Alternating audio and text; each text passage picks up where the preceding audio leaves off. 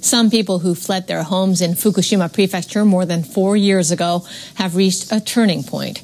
The Fukushima Daiichi nuclear power plant accident forced thousands from their homes. Towns and villages near the plant were declared no entry zones.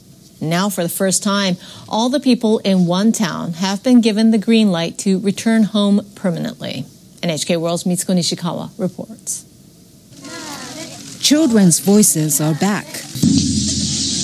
I also like to live dangerously. They gathered last Saturday to commemorate the fresh restart of the town. When I first heard the news that we can go back to Naraha, I felt I wanted to know more about this place where I was born. Naraha town is located within 20 kilometers of the Fukushima Daiichi nuclear plant. The Japanese government issued an evacuation order for most parts of the town to protect citizens from high radiation. Residents and local government departments had to leave town. The national government began a decontamination program later in 2011. Four years and six months have passed since the accident. The government lifted the evacuation order at midnight Friday. More than 7,300 former residents are now free to live and operate businesses here. In the morning, people were on the streets to greet their neighbors, just like they used to do four years ago. One resident was there to clean the house she had longed to come back to.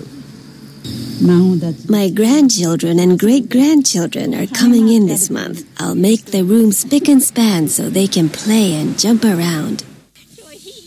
Yet the outlook is tough. This elderly couple used to live in the town with six other family members.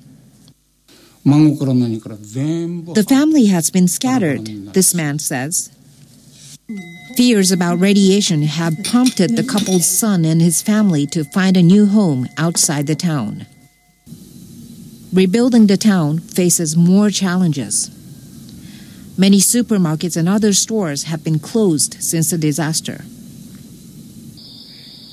Lifting the evacuation order did not mean hospitals or other welfare service centers would reopen at the same time elderly people voiced their concern over the reduced health services. The government expects to lift more evacuation orders in nearby towns for 70,000 people who are forced to live away from home.